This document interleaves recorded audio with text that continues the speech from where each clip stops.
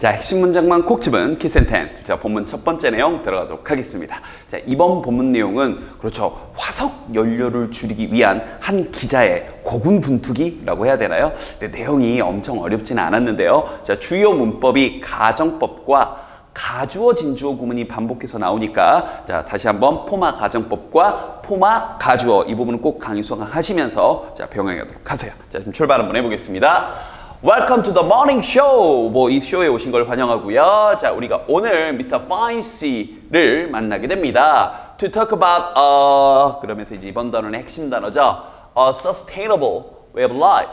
지속 가능한 삶의 방식에 관해서 자 sustainable 이번 단원에서 핵심 단어니까 알겠죠? 자 알아두시고요. 그러니까 포인트는 이겁니다. 화석 연료를 안 쓰겠다는 게 아니에요. 내용 일치불일치해서 좀 여러분들 혼란시킬 수 있습니다. 최대한 적게 쓰면서 안 쓰고 살 수는 없으니 대체할 수 있는 그러면서도 환경에 영향을 덜, 미치, 덜 미치면서 꾸준히 쓸 수 있는 그걸 한 단어로 이렇게 대체 가능한 지속 가능한 죄송합니다. 지속 가능한 sustainable way of life. 자 이런 삶의 방식에 대해서 한번 얘기를 해보겠습니다. 그 다음 간단한 문법이 하나 떴죠? Born and raised. 자 분사 구문인데요. 뉴욕에서 태어나고 자란 왜 근데 여기다 수동을 썼냐면 태어난 것과 자란 걸 우리는 전부 다 우리말적으로는 태어났다, 자랐다, 능동으로 얘기하지만 사실 이 뉴욕이라는 이 공간 속에서 자, 이 미스터 파인 씨가 길러진 거고 태어나게 된 거라는 이건 이제 문화적 차이입니다. 수동으로 표현하게 돼 있는 거예요. 그래서 이거 간단하게 수동으로 나오는 분사 구문인 거 잡아 놓으시고요. 자, 태어났고 자란, 나고 자란 이 뉴욕에서 나고 자란 이 미스터 파인 씨는요. about a farm 자, 농장을 하나 구매를 했습니다. 구입을 했습니다. 뉴멕시코에 사막에. 그리고 하면서 요렇게 병렬되네요. 요렇게. 이번 단원에서 병렬도 은근히 까다로운 게 한 두 개 있어요. 저 미리 잡아드립니다. 농부, 아, 농장을 하나 구매를 했고 그리고 move there 그곳으로 이사를 했습니다. 자, 이제 호스트가 계속 얘기합니다. He wanted to see. 자, 그는 보고 싶었습니다. 자, 그 다음 이렇게 동사 다음에 정확하게는 타동사죠. 타동사 다음에 if가 나오게 되면 만약에가 아니라 뭐 인지 아닌지라는 whether의 뜻이죠. 우리 이건 이 정도는 정확하게 잡아 놓으시고요. 됐죠?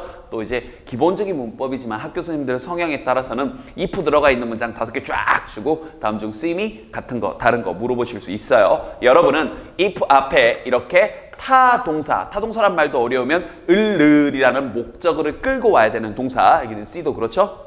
됐죠? 어, 그래서 이런 것들을 알기 이런 동사들 다음에 if가 나오게 되면 뭐 뭐 인지 아닌지라고 판단하시면 됩니다. 자, 그는 알고 싶었습니다. 뭐 인지 아닌지를 he could live 그가 살 수 있을지 아닐지를 with the least 이런 거 내용 조심하시라고요. with the least consumption of fossil fuel energy 이런 거요.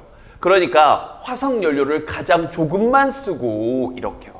안 쓰는 게 아니라 the least라고요. 내용 주의하세요. 자, 화석 연료의 소비를 조금만 하고 살 수 있진 않을까? 이걸 고민을 했답니다. 자, 단어 조심하시고요. fossil fuel, 화석 연료입니다. Let's learn about his struggles. 자, 그의 고군분투. 에 관해 한번 알아봅시다. 자, 뭐 하고자 하는 고군분투냐면 바로 reduce. 자, 단어 조심하시고요. 이런 거 반이어 문제로 내죠. 자, 그의 자, 탄소 그럼 배출을요. emission 그러면 배출 이런 단어들 조심하시고요. 선생님 지금 동그람 친 단어들은 혼동 어휘로 낼 만한 단어들입니다. 무슨 무슨 미션, permission, admission, 미션 되게 많고요. reduce 줄이냐 증가시키냐 그래서 내용 똑바로 이해했는지 물어보실 수 있으니까요.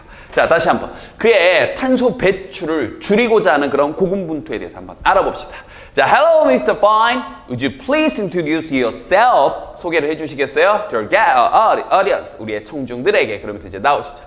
Hi, everyone. 안녕하세요. It's great. 아, 정말 기쁩니다. To be here. 이곳에 있게 되어서요.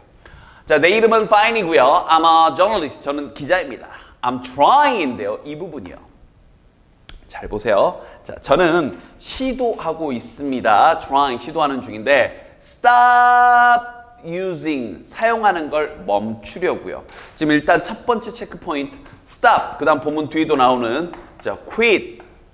이게 전부 다 같은 단어죠. 멈추다, 그만두다. 그래서 이 뒤에 ing를 써서 뭐 하던 것을 멈추다, 그만두다라는 뜻입니다. 근데 우리가 중학교 수준부터 배운 게 있죠. 이때 stop ing 뒤에 to 부정사를 쓰게 되면 뭐 하기 위해 멈추다라는 뜻이 돼요. 뜻이 아예 달라지죠. 중학교 때부터 배운 거지만 정확하게. 한 번 더 stop ing 혹은 quit ing 하게 되면 하던 걸 멈추다. 근데 stop to 하게 되면 하기 위해 멈추다. 정확하게 구별하세요. 그럼 다시 자 여기 병렬도 좀잘 보셔야 되는 게 제가 화석연료 쓰는 것을 멈추고 있고 그리고 그러려고 시도하고 있고 그리고 하면서 이 부분이요. 아 지금 영장 문제, 어, 서술형 문제 여러 가지로 낼 장치가 많은 문장이 연결됐습니다. 잘 보세요. 여기는 I'm trying에 걸려 있는 게 아니라 I'm stop to uh, trying to stop to uh, stop using에 걸려 있는 것도 아니고 이렇게 걸려 있는 겁니다.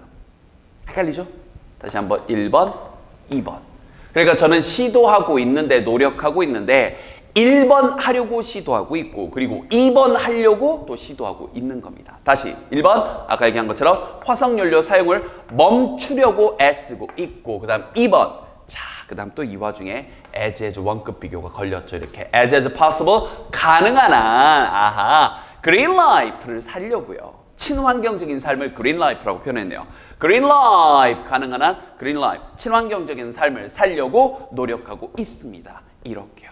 그래서 헷갈리게 여기 live 자리에 ing 붙여놓고 living 써놓고 맞냐 틀리냐 이런 거 물어볼 수 있고요. 어순배열 내기 너무 좋은 게 as as possible 가능한 한이란 가능한 한 뭐막이란 표현도 들어가 있죠. 알겠죠? 우리 간단하게 as as possible은 또 뭐로 바꿔 쓸 수 있냐면 이 possible 부분은 as as I can 이렇게 바꿔 써줄 수도 있죠. 내가 할 수 있는 한 이렇게 여러 가지로 시험제 낼 장치들이 많은 문장입니다. 외우세요. 알겠죠? 자 계속 갑니다. 자, you said. 그러면서 이제 본격적인 질문이 떴는데요. 첫 번째 질문입니다. 당신은 말씀하셨는데 you are trying. 당신 시도하고 있다고. 자, 방금 또 했던 거. quit ing. 뭐 하던 걸 멈추다. quit uh, using fossil fuels.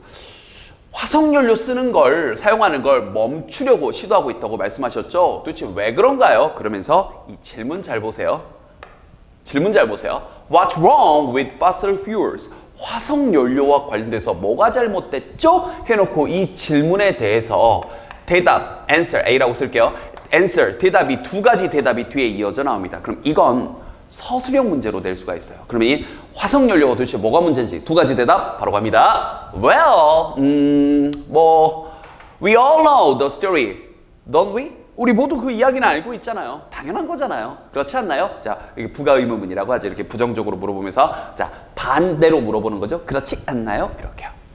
We get energy, 우린 에너지를 얻습니다. Mainly from 주로 burning fossil fuels, 화석 연료를 태우는 것으로부터 주로 에너지를 얻어요. But 그러나 there are couple of problems. 몇 가지 문제들이 있습니다. 그러면 화석 연료를 사용을 멈추려는 이유, 뭔가 문제가 되는 것들 그 이유가 자 나옵니다. 일단 with that 그것과 함께 이렇게 지칭하는 거 잘 볼까요? 우리가 화석 에너지를 태우는 것으로부터 에너지를 얻는 것이 여기 있는 대시 지칭하는 거고요.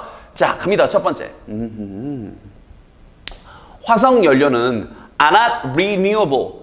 재생 가능하지 않습니다. 재상선, 재생산하거나 다시 한번 사용할 수가 없습니다. 이거예요. 이게 첫 번째 이유죠.